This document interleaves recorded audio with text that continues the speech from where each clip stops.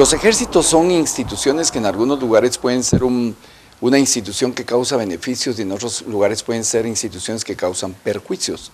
La fragilidad de las instituciones democráticas en Centroamérica quedó al descubierto con el golpe de Estado en Honduras.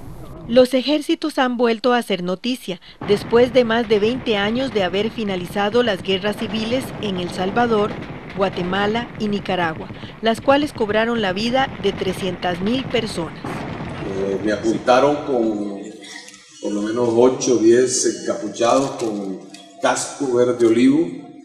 Eh, verdaderos gorilas fueron los que intentaron y, amenazándome, diciéndome que si no soltaba, suelte el celular o le vamos a disparar, lo, lo vamos a matar, suelte el celular. Los responsables del golpe de Honduras es un grupo económico que quiere conservar sus privilegios y el control de ciertos negocios del Estado.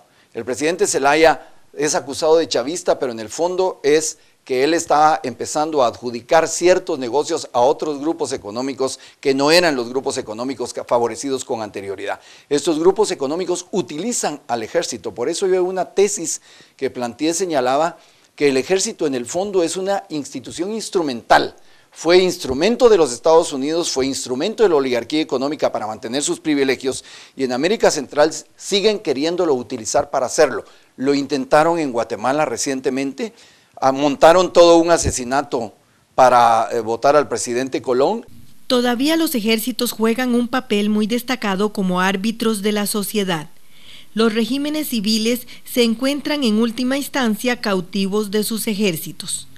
La excepción es Costa Rica con 60 años de haber abolido el ejército y Panamá lo hizo en 1994. La seguridad ciudadana no la dan los ejércitos, la seguridad ciudadana la da, lo da la policía.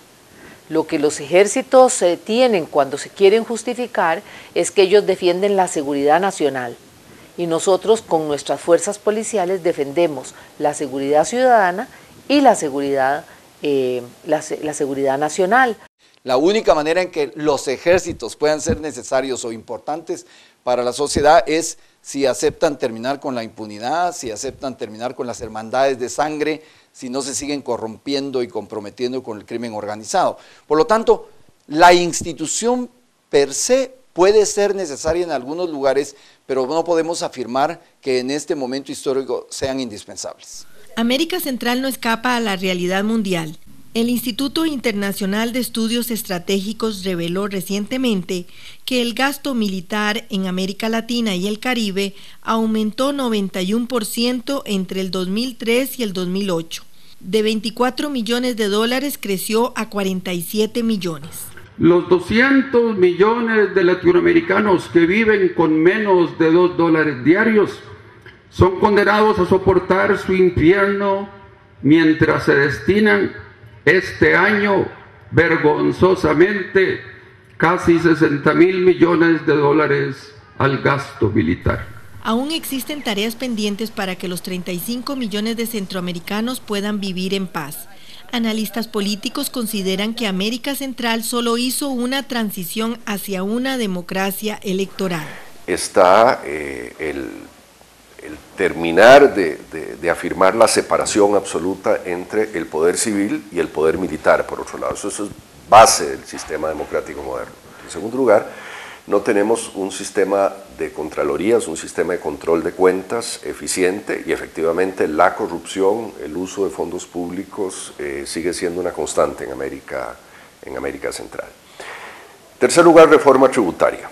Eh, sin una reforma tributaria integral es imposible construir clases medias en América Central y generar una institucionalidad madura. Centroamérica está recaudando en estos momentos un 12-13% del producto, un 12% del Producto Interno Bruto eh, es, la tasa de recaudación tributaria de la región, es ridículamente baja.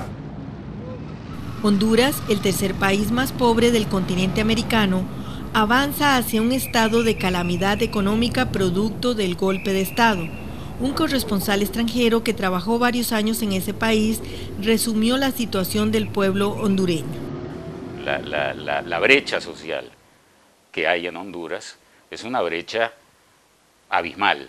Es decir, hay un grupo de familias que controlan la economía y la mayoría de la población está en situación más que de pobreza, en situación de pobreza extrema. Sociólogos e historiadores coinciden en los aportes de la abolición del ejército. Hoy Costa Rica posee el más alto índice de desarrollo humano en América Central. El último informe del 2009 del Programa de las Naciones Unidas para el Desarrollo indica que los costarricenses tienen la mayor esperanza de vida, además la más alta tasa de alfabetización en el istmo. El no tener ejército nos da a nosotros la posibilidad como país apenas de renta media de tener índices de bienestar social tan altos como cualquier otro país desarrollado del mundo porque nosotros invertimos todo aquel presupuesto que otros países lo invierten en armamentos y en ejército, nosotros lo invertimos en educación y en salud.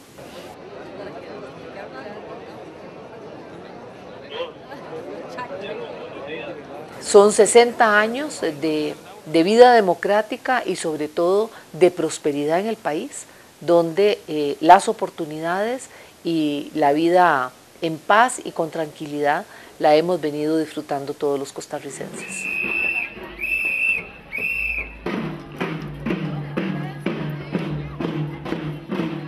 Desde cualquier punto de vista, más fuerza para los ejércitos latinoamericanos es una mala noticia para las democracias latinoamericanas, porque las democracias, como decía Jorge de Bravo en un poema, también se quiebran como cántaros.